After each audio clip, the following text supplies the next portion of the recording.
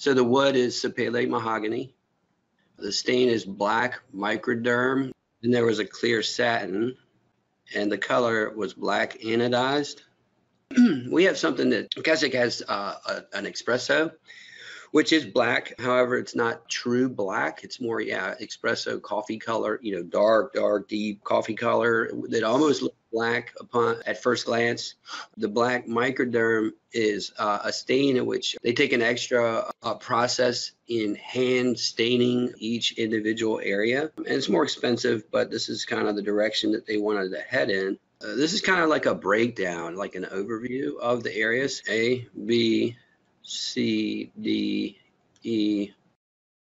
So that's where we go with that. And this is I. This was another little challenging area. This, do you see this little bump out right here? Yeah, Uh, originally, they wanted the, the racks to go continuous, you know, all the way around. That the- you know that they're all symmetrical. There was a little bump out right here that they didn't take into consideration. Monarch, when they took the measurements, didn't really may, maybe pay attention to this area right here. But Ed and I came up with a solution of you know the upright bottle shelving here, in which that was kind of like a, uh, a challenging part of everything. Yeah, you Um, can't even see what looking in. You can't even see that it's a different depth, but it definitely yeah with the- with the bottles in it. Yeah, so we made sure that upon installation that everything was true to the face. Yeah, And he this asked about challenges. You know, that that back in there behind D, everything back behind D is the elevator.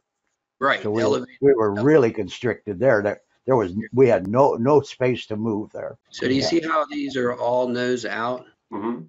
and they Okay. chose to go the other way. Yeah, and from the pictures, you see wherever your pictures are, show some going horizontally, and I think they do have some going nose out. I, I can't remember, but basically, you know, this is where we started. Was 4,000 bottles nose out? It brings the you know the highest capacity. They Mhm. wanted. Um, so, like Ed always says, and it's it's right. I mean, you, you can store these either horizontally, label forward, nose out, or upright. I think right now, Ed, don't they have all the, you know, most of their champagne stored straight up? Is that right? Yes, yeah, that's almost all on, on their uh, upright uh, in the upright sections. It's almost all champagne bottles.